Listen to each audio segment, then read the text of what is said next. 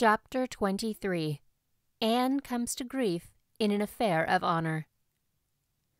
Anne had to live through more than two weeks, as it happened, almost a month having elapsed since the liniment cake episode. It was high time for her to get into fresh trouble of some sort. Little mistakes, such as absent mindedly emptying a pan of skim milk into a basket of yarn balls in the pantry instead of into the pig's bucket, and walking clean over the edge of the log bridge into the brook while wrapped in imaginative reverie, not really being worth counting. A week after the tea at the manse, Diana Barry gave a party. Small and select, Anne assured Marilla. Just the girls in our class. They had a very good time, and nothing untoward happened until after tea, when they found themselves in the Barry garden, a little tired of all their games and ripe for an enticing form of mischief which might present itself. This presently took the form of daring. Daring was the fashionable amusement among the Avonlea small fry just then. It had begun among the boys, but soon spread to the girls, and all the silly things that were done in Avonlea that summer because the doers there were dared to do them would fill a book by themselves. First of all, Carrie Sloane dared Ruby Gillis to climb to a certain point in the huge old willow tree before the front door, which Ruby Gillis, albeit in mortal dread of the fat green caterpillars with which the sad tree was infested, and with the fear of her mother before her eyes if she should tear her new muslin dress, nimbly did, to the discomfiture of the aforesaid Carrie Sloane. Then Josie Pye dared Jane Andrews to hop on her left leg around the garden without stopping once or putting her right foot down to the ground, which Jane Andrews gamely tried to do, but gave out at the third corner and had to confess herself defeated. Josie's triumph being rather more pronounced than good taste permitted, Anne Shirley dared her to walk along the top of the board fence which bounded the garden to the east. Now, to walk board fences requires more skill and steadiness of head and heel than one might suppose who had never tried it. But Josie Pye, if deficient in some qualities that make for popularity, had at least a natural and inborn gift, duly cultivated, for walking board fences. Josie walked the Barry fence with an airy unconcern which seemed to imply that a little thing like that wasn't worth a dare. Reluctant admiration greeted her exploit, for most of the other girls could appreciate it, having suffered many things themselves in their efforts to walk fences. Josie descended from her perch, flushed with victory, and darted a defiant glance at Anne. Anne tossed her red braids. I don't think it's such a very wonderful thing to walk a little low board fence, she said. I knew a girl in Marysville who could walk the ridgepole of a roof. I don't believe it, said Josie flatly. I don't believe anybody could walk a ridgepole. You couldn't, anyhow. Couldn't I? cried Anne rashly. Then I dare you to do it, said Josie defiantly. I dare you to climb up there and walk the ridgepole of Mr. Barry's kitchen roof. Anne turned pale, but there was clearly only one thing to be done. She walked toward the house, where a ladder was leaning against the kitchen roof. All the fifth grade girls said, Oh! partly in excitement, partly in dismay. Don't you do it, Anne, entreated Diana. You'll fall off and be killed. Never mind, Josie Pye. It isn't fair to dare anybody to do anything so dangerous. I must do it. My honor is at stake, said Anne solemnly. I shall walk that ridgepole, Diana, or perish in the attempt. If I am killed, you are to have my pearl bead ring. Anne climbed the ladder amid breathless silence gained the ridgepole, balanced herself uprightly on that precarious footing, and started to walk along it, dizzily conscious that she was uncomfortably high up in the world, and that walking ridgepoles was not a thing in which your imagination helped you out much. Nevertheless, she managed to take several steps before the catastrophe came. Then she swayed, lost her balance, stumbled, staggered, and fell, sliding down over the sun-baked roof and crashing off it through the tangle of Virginia creeper beneath. All before the dismayed circle below could give a simultaneous, terrified shriek. If Anne had tumbled off the roof on the side up which she had ascended, Diana probably would have fallen heir to the pearl bead ring then and there. Fortunately, she fell on the other side, where the roof extended down over the porch so nearly to the ground that a fall therefrom was a much less serious thing. Nevertheless, when Diana and the other girls had rushed frantically around the house, except Ruby Gillis, who remained as if rooted to the ground and went into hysterics, they found Anne lying all white and limp among the wreck and ruin of the Virginia creeper. Anne, are you killed? shrieked Diana, throwing herself on her knees beside her friend. Oh, Anne, dear Anne, speak just one word to me and tell me if you're killed.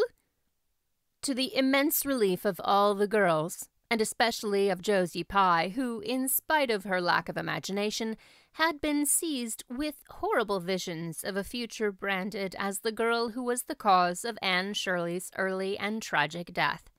Anne sat dizzily up and answered uncertainly, No, Diana, I am not killed, but I think I am rendered unconscious. Where? sobbed Carrie Sloane. Oh, where, Anne? Before Anne could answer, Mrs. Barry appeared on the scene. At sight of her, Anne tried to scramble to her feet, but sank back again with a sharp little cry of pain. What's the matter? Where have you hurt yourself? demanded Mrs. Barry. My ankle, gasped Anne. Oh, Diana, please find your father and ask him to take me home.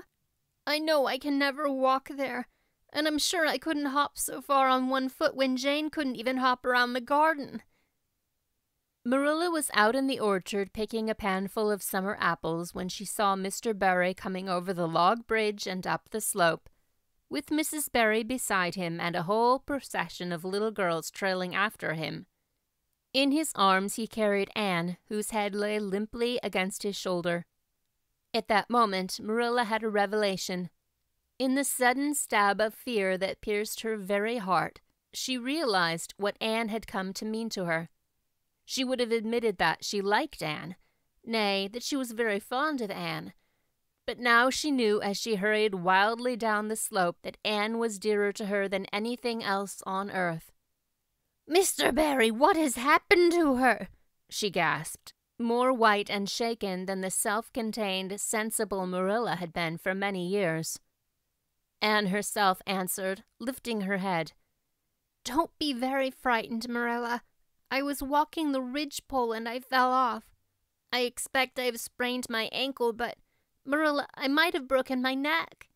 Let us look on the bright side of things. I might have known you'd go and do something of the sort when I let you go to that party, said Marilla, sharp and shrewish in her very relief. Bring her in here, Mr. Barry, and lay her on the sofa. Mercy me, the child has gone and fainted. It was quite true. Overcome by the pain of her injury, Anne had one more of her wishes granted to her. She had fainted dead away.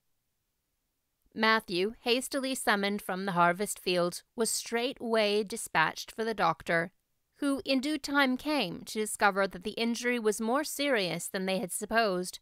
Anne's ankle was broken. That night, when Marilla went up to the east gable, where a white faced girl was lying, a plaintive voice greeted her from the bed. Aren't you very sorry for me, Marilla? It was your own fault, said Marilla, twitching down the blind and lighting a lamp. And that is just why you should be sorry for me, said Anne, because the thought that it was all my own fault is what makes it so hard.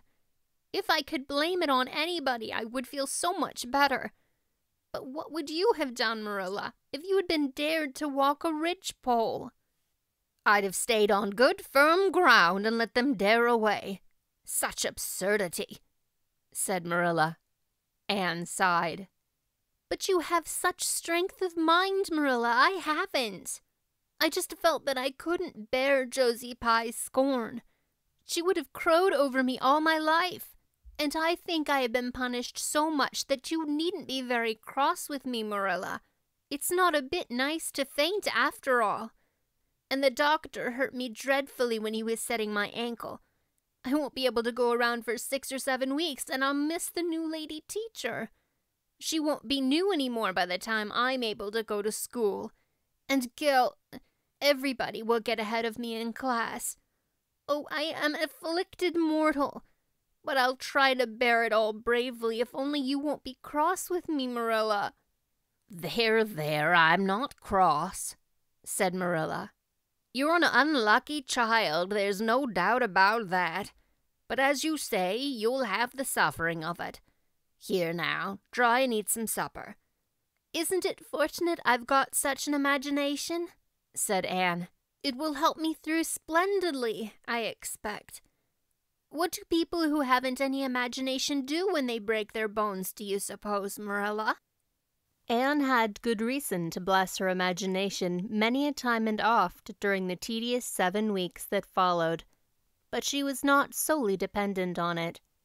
She had many visitors, and not a day passed without one or more of the schoolgirls dropping in to bring her flowers and books, and tell her all the happenings in the juvenile world of Avonlea. Everybody has been so good and kind, Marilla, sighed Anne happily on the day when she could first limp across the floor. It isn't very pleasant to be laid up, but there is a bright side to it, Marilla. You find out how many friends you have. Why, even Superintendent Bell came to see me, and he's really a very nice man. Not a kindred spirit, of course, but still, I like him, and I'm awfully sorry I ever criticized his prayers. I believe now he really does mean them, only he has got into the habit of saying them as if he didn't. He could get over that if he'd take a little trouble. I gave him a good broad hint. I told him how hard I tried to make my own little private prayers interesting. He told me all about the time he broke his ankle when he was a boy. It does seem so strange to think of Superintendent Bell ever being a boy. Even my imagination has its limits, for I can't imagine that. When I try to imagine him as a boy, I see him with gray whiskers and spectacles, just as he looks in Sunday school, only small. Now, it's so easy to imagine Mrs. Allan as a little girl. Mrs. Allan has been to see me fourteen times. Isn't that something to be proud of, Marilla? When a minister's wife has so many claims on her time, she is such a cheerful person to have visit you, too. She never tells you it's your own fault, and she hopes you'll be a better girl on account of it. Mrs. Lynde always told me that when she came to see me, and she said it in a kind of way that made me feel she might hope I'd be a better girl, but didn't really believe I would. Even Josie Pye came to see me. I received her as politely as I could because I think she was sorry she dared me to walk a ridgepole. If I had been killed, she would carry a dark burden of remorse all her life. Diana has been a faithful friend. She's been over every day to cheer my lonely pillow. But oh, I shall be so glad when I can go to school, for I've heard such exciting things about the new teacher. The girls all think she is perfectly sweet. Diana says she has the loveliest fair curly hair and such fascinating eyes. She dresses beautifully, and her sleeve puffs are bigger than anybody else's in Avonlea. Every other Friday afternoon, she has recitations, and everybody has to say a piece or take part in a dialogue. Oh, it's just glorious to think of it. Josie Pye says she hates it, but that is just because Josie has so little imagination. Diana and Ruby Gillis and Jane Andrews are preparing a dialogue called A Morning Visit for next Friday.